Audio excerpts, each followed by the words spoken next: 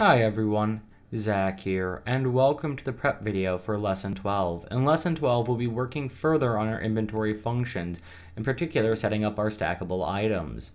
This prep video and this series have been brought to you by my Patreon sponsors. That said, let's make a start. As I already mentioned, in this tutorial, we'll be adding to our current set of functions in our inventory. In particular, we'll be adding the ability to add stackable items. And we'll be focusing a lot, sorry, focusing a lot on polymorphism in this particular tutorial. However, there is one concept around OOP, one fundamental area that we haven't really talked about. I have briefly mentioned it, and I think it'd be remiss of me not to bring this up before section 4, where we'll really kind of explore this concept, and that is abstraction. So, abstraction is something we have seen a lot of actually. We have this node, move to location or actor. We, we understand the word move to location or actor. We get what it is doing we don't understand behind the scenes what it's really about, do we? There are things in here that probably aren't clear. Well, what is this pathfinding idea? What is this lock logic or this continuous goal? We can understand our goal actor, our goal location, our AI controller. We can understand parts of it, but do we understand what it's really doing behind the scenes? Do we understand how it's using a modified A-star algorithm to create its pathfinding uh, abilities? So that's what that little thing is about there. Do we understand how the nav mesh interacts with it? Do we understand how the nav mesh is set up? In addition to this, we have used abstraction ourselves, but it's a little bit less obvious. Take this node from our sprint system. The check has stamina.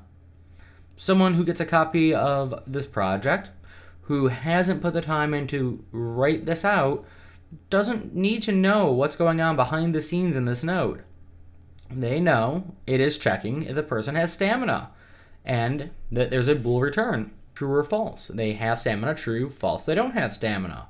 They don't need to know the underpinnings behind the uh, scene. They don't need to open up the node to get what's going on.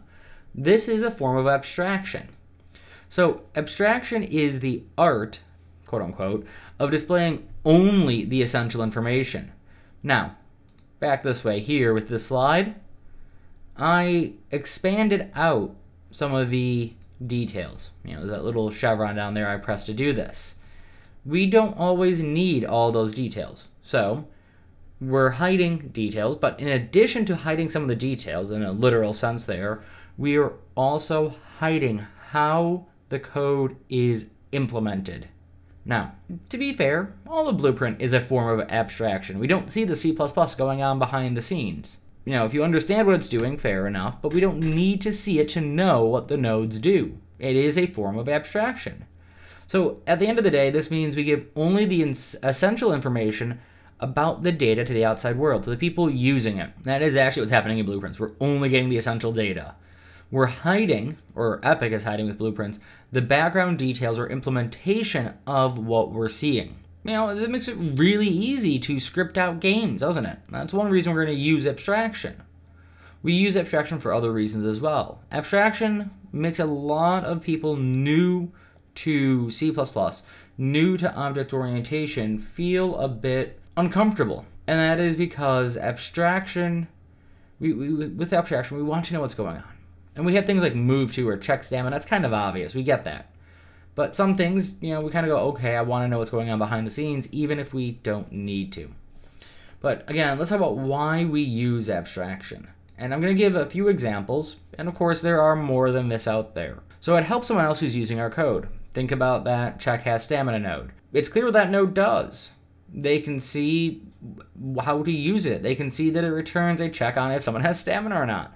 They don't need to look at it to see what it does. I mean, they don't need to open it up to see what it does it helps avoid writing certain functions over and over again. So if you already have something that does something and it's clear that it does it, it's going to help you prevent from having to do it multiple times in multiple ways. Hint, hint, we're going to violate that one. And it's going to be part of your challenge for one of the upcoming videos. And, well, it avoids duplication and increases reusability. Actually, that was the part that we were, I meant to say hint hint to. Uh, when I said it helps avoid writing certain functions, this is also true with regards to, say, when you're doing pure C++, you don't need to write how a computer understands a keyboard. We already have a function that does that. We already have a header that does it. It's abstracted. We, we don't need to know the finer details, but we know it recognizes input and it parses that input into something that we can see. So it helps us avoid writing those functions. It also helps avoid the duplication of code, so a check stamina, or say check if a slot on an inventory system is available. Hint, hint. Next video, there will be no prep. There'll be challenges related to abstraction, and that's one of them.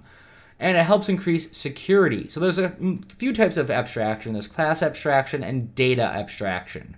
So think about the fact we set B is discarded to private in our inventory. Prevents something else from setting it. We have to use getters and setters. This can help deter cheating in multiplayer games. It won't prevent it, but it can help deter it. Um, and it prevents values from being set where we don't want them set, and it gives us control over that.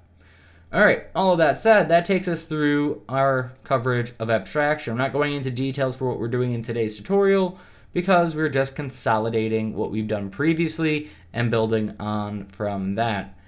This video has been brought to you by Patreon sponsors like Rian, Haynes, and Quad Menson. If you've enjoyed this prep video, please hit the like button down below. It really does help this channel out. And if you want to be here for the rest of the tutorial, please make sure to hit that subscribe and notify bell so you know when the next videos are out. And as always, I look forward to seeing you in the next tutorial, and I hope that you have a wonderful day.